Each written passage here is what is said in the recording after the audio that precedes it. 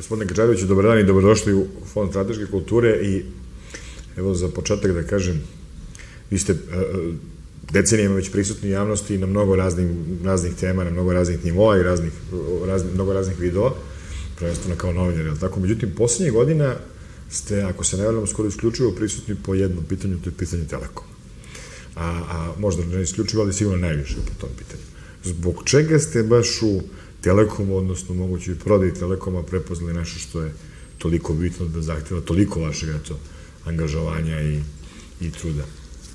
Pa, mm, ja posljednjih deseta godina kao osnovni posao, što bi rekli, da je zarađujem hleb, ovaj, to više nije novinarstvo, nego radim u jednoj firmi koja se bavi između ostalog i komunikacijama, uopšte informacijalnim tehnologijama i onda su mi te teme ovaj, sve bliskije.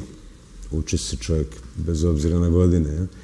U momentu kad se pojavila uh, ideja pre, pre jedno 5-6 godina da se prodaje Telekom ponovo, kao što je poznato, on je već jednom bio prodat u prošlom veku, pa otkupljen.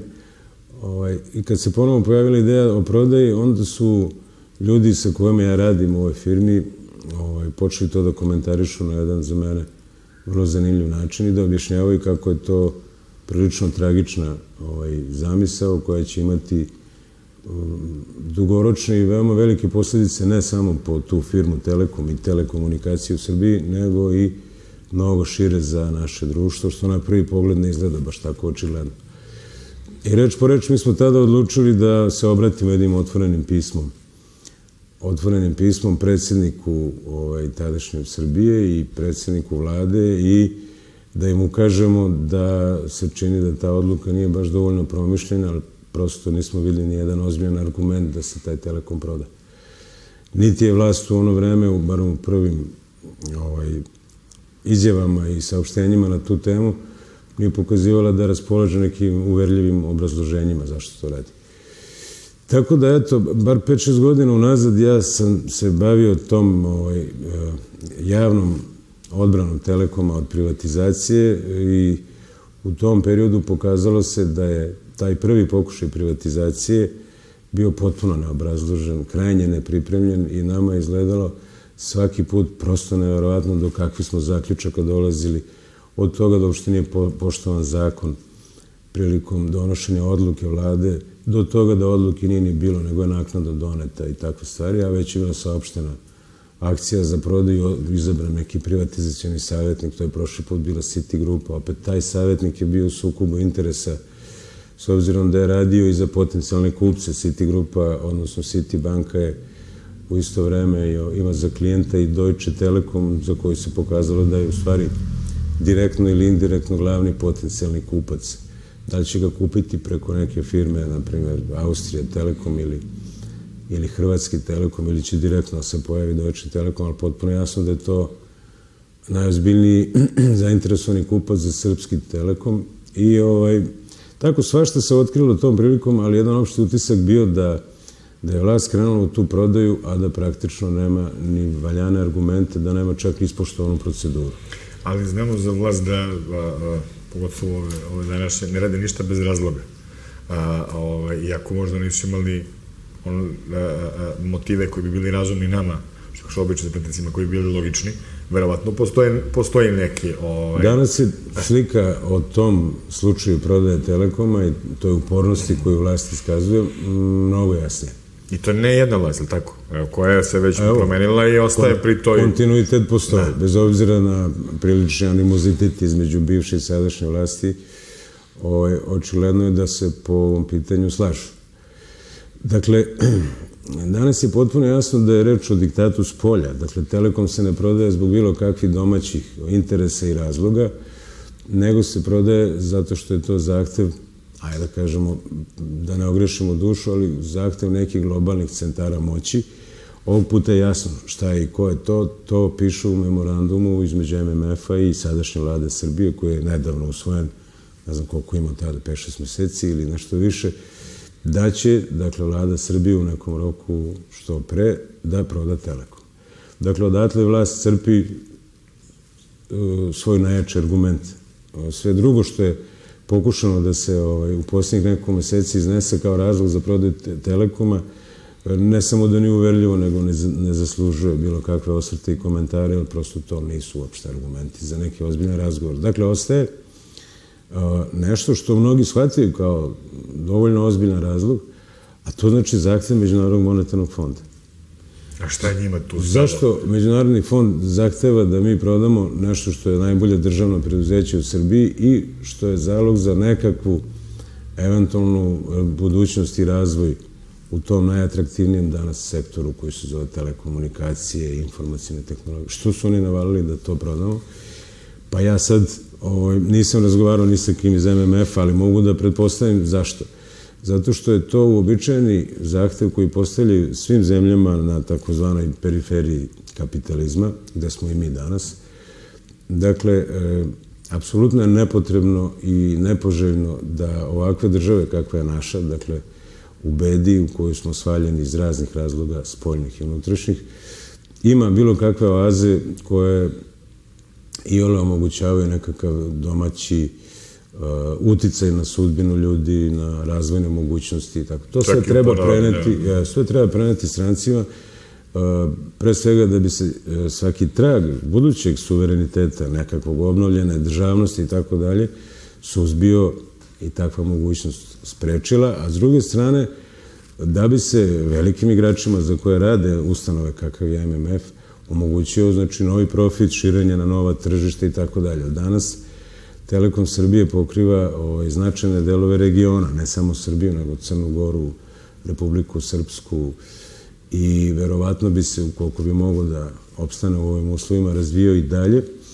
Ovaj, ja sad ne bi mogo da pogađam baš na koje teritorije, ali pretpostavljam Kosovo gde im je uzurpirana ovaj, oprema i mreža, Makedonija najverovatnije ako i ole bude zanimljiva i tako to. Ali u ovom trenutku Deutsche Telekom uz pomoć MMF-a i domaće vlasti verovatno će ovaj, pokušati da postane vlasnik i da olade svim tim tržištem i resursima. Resursi su pre svega, da ne pričamo o svemu drugom, ali profit koji Telekom odbacuje – Koliki je taj profit, da što kažu? Pa on je u ovoj godini, ovaj, posle odbitka svih troškova, znači svih davanja, negde oko 180-190 miliona evra. To je čiste. Procenjen, da, to je ono što baš ostane i ide državi u kasu kao dobit, jel?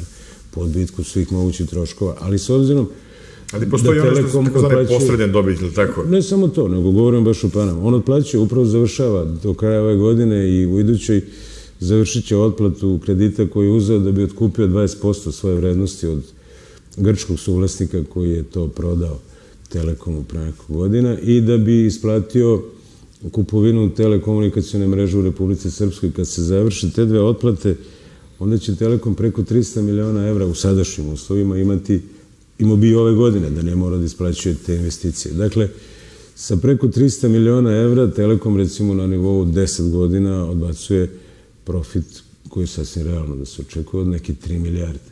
Znači, da uzmemo ništa drugo u obzir, danas je potpuno jasno da za 3 milijarde ne može da se proda.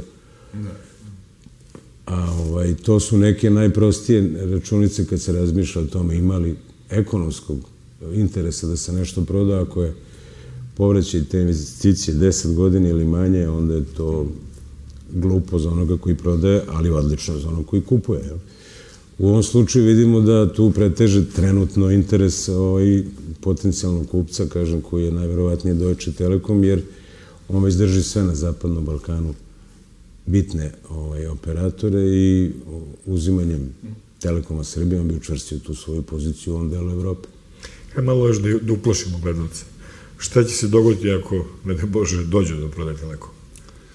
Pa ima nekoliko kratkoročnih posljedica, ima ih naravno mnogo, ali uzet ćemo samo najkrupnije koje, koje možemo da očekujemo u prvom trenutku i one koje će se dugoročno pojaviti. Dakle, govorimo samo o štetnim posljedicama, mada ja te neke pozitivne baš i ne vidim, ali kažu da postoje, ne bi o tome pričao. Evo, štetne posljedice prve su otpuštanje barem e, oko 50% sadašnjih zaposlenih, znači negde 4 do 5 hiljada zaposlenih, I to ne zato što su oni višak, jer po drugim parametrima za upoređivanje Telekom Srbija nema suštinski pretarani broj zaposlenih i teško bi moglo da se govori nekom višku radne snage. Ali, znajući kako je Deutsche Telekom radi u Hrvatskoj i u drugim zemljama u koje je ušao pre nego ovde, oni na račun kvaliteta usluga smanjuju broj zaposlenih, tako da će nama i kvalitet usluge tog operatora Znači, već da imamo primjer, ali tako u okruženju, šta se događalo i... Da. U Hrvatskoj su izvanredni primjer, jer je to već jedna stara privatizacija. Pre deset godina je Deutsche Telekom kupio Hrvatski Telekom i mi tamo možemo odlično da vidimo i kakva je politika takvog kupca i posljedice po tržište i tako dalje i tako dalje. Dakle, tu više nema nikakve dileme da to ovaj, služi jedino interesu tog ko kupuje i to interesu da izlači profit. Uopšte ga ne zanima unapređenje usluge. Danas, recimo, na ukupan broj zaposlenih ili ukupan broj stanovnika kojima se daje usluga ili bilo koji treći parametar, Deutsche Telekom na teritoriji Nemačke drži veći broj zaposlenih nego na teritoriji Hrvatske i to znatno veći, naprimjer dva puta više za istu uslugu. Zato što na teritoriji Nemačke od- održava standard i kvalitet usluge, a u Hrvatskoj ga obara dokle god može da cedi profit iz toga.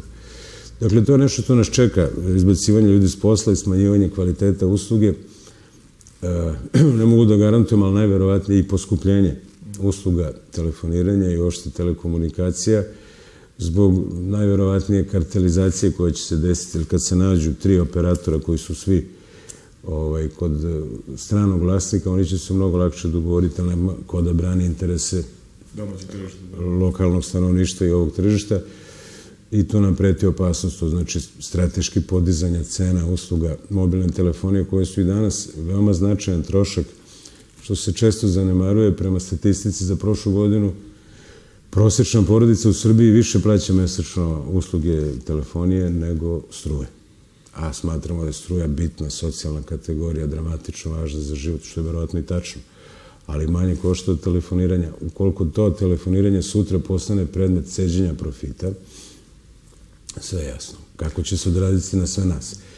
E, dalje posljedice po, po Srbiju, dakle, su to što ćemo izgubiti dobav, e, dobavljači koji danas rade sa Telekom Srbiji procenjuju se na otprilike e, 100.000 stanovnika, a negde oko 20 do 30.000 zaposlenih koji rade u firmama koje su dobavljači raznih proizvoda i usluga za Telekom. Znači, osnovna delatnost njihova praktično Oni će- zavisi od saradnje sa Telekomom. Tako je, tako? oni će najverovatnije izgubiti te poslove ili u najvećem broju će izgubiti poslove zato što je jasno i takva je politika na drugim tržištima da one ko kupi firmu, on dovodi tu Svoje svoje dobavljače, on ima korporativne ugovore za celu Evropu, oni se sklapaju u jednoj direkciji, negde u Berlinu ili nije važno gde je matična direkcija i tu lokalni izvođači radova, davaci usluga, trgovci i tako dalje koji danas sarađuju sa Telekomom, ostaju bez posla, bez ikakve dileme.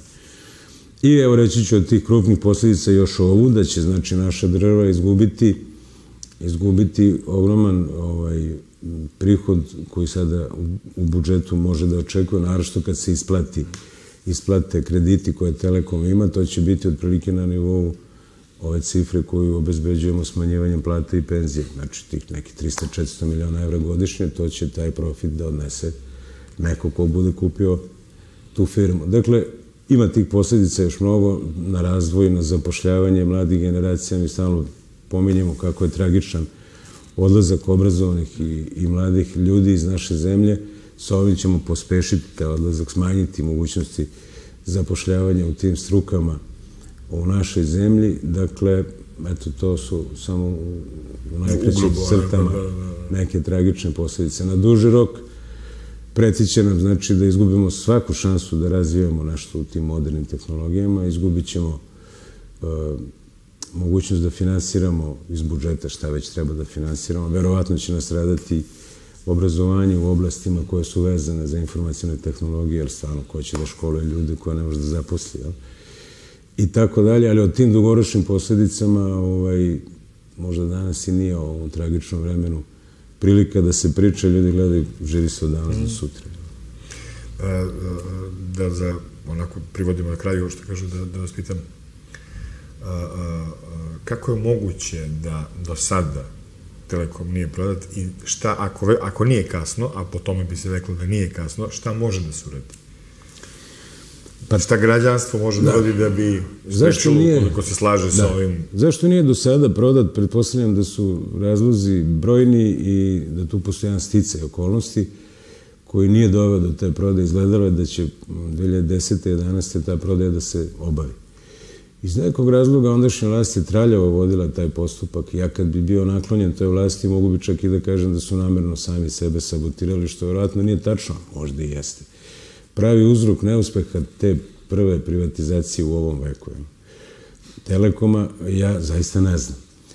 E, kao što ne znam ni da li će ova da se završi e, tim smrtnim udarcem za Telekom kao naše vlasništvo, ali kako sada stoje stvari, čini se da, da vlada baš ima nameru da izađe tu u susret zahtjeva Međunarodnog fonda i očekivanjima Deutsche Telekoma iz više razloga. Da im se umili u čemu postiže šampionske rezultate, a s druge strane i da zaista dođe do neke relativno značajne sume novca da bi se opet hvalili kako to obezbeđujemo nekakve pozitivne rezultate u budžetu. Što bi ta suma novca bila jednokratna, ali tako to je... To je suma novca koja se potroši za mesec ili dva. Oni planiraju da pola toga ide na vraćanje dugova, ne za druga polovina za rupe u budžetu, dakle te pare bukvalno nestaće, nećemo vidjeti od njih ništa.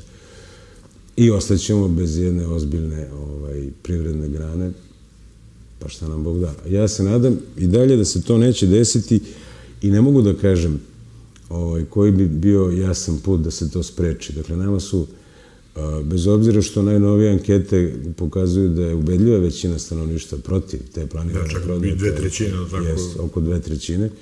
Ali nama su vrata u zemlji, u ovoj našoj, sva zatvorena za iskazivanje takvih interesa. Mi ne možemo da nađemo ni zastupnike u parlamentu, i ako bi se neko javio od sada opozicijalnih stranaka, u njih nemamo nikakvo poverenje, ali su oni dojuče pokušavali isto to da urade, prosto je komično da danas ovaj, brane takvu stvar. Kao što je komično da sadašnja vlast pre pet godina bila protiv prodaje, da bi oponirala ondašnje vlasti, ali pokazuje da ne robuje svojim rečima. Danas mirne duše idu da urade ono protiv čega su podnosili krivične prijave i davali dramatične izjave kako je to propast i smrt za Srbiju ako se proda Telekom. Znači, od političara u ovom trenutku ne vrede očekivati barem ne javnu i konkretnu podršku u odbrani interesa nacionalnog, ostaje, ostaje pitanje kako možemo da se samo organizujemo i da na izvestan način proizvedemo nekakav javni otpor koji će biti delotvoran, koji će dati nekakav rezultat. Meni je poznato da postoji sad jedna inicijativa koja još nije ovaj, baš konkretizovana, ali postoji i na tome se radi da se pokuša organizovanje jednog velikog skupa na koji bi došle desetine hiljada ljudi koji su spremni da izađu na ulicu i, i da istaknu protivljenje ovakvoj nameri i da pokažu da ih ima dovoljno i da su spremni da se bune.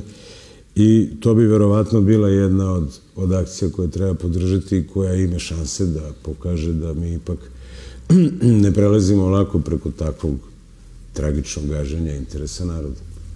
I ovo za kraj, samo, uh, bukvalno za kraj, znači, o Srbima se svašta priča, ali ono što verovatno s čim će se svi složiti, pa i mi Srbi sami, tako da nismo čutljiva nacija. I ovo što ste malo prerekli da su izdaci za telefonske razgovore često veći nego za struju. U proseku ovaj, veći. Da, da, znači, e, pričljiva smo nacija. Ovaj, da li bismo onda ovo, ovo celo zapetljanicu oko telekoma mogli da svedemo na ovo? Ukoliko bude prodat, Srbima će biti i teže i skuplje da pričaju. To bez ikakve dileme. to sigurno ali i mnoge druge stvari. Biće im teže da isplaćuju penzije, da zapošljavaju decu i tako dalje. Sa ovim upozorenjem i da završimo. Hvala vam na razgovoru i nadam se sledeći put kad ćemo sedeti i dalje će biti ovako povoljno pričati.